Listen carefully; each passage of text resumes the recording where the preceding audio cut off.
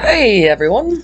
Today we are working on a paddle and my friend brought this to me and he said that he didn't have a craft project yet like all of my other friends so he wanted me to do this paddle for him. Got a new boat, loves it and I said sure and he didn't give me any directions so I just did, did my own thing. Uh, right here it's showing all the torching if you want to, I have a slower video where I explain torching. It's uh, back in my, I'll actually I'll link that in the description. Uh, one thing I really should have done is sanded the paddle first because it did have a little bit of a sealant on it to make it waterproof. And my mistake. So you'll see how I fix that later on. But just sand first because I had a mask on and everything. So I just wouldn't even be breathing that stuff in.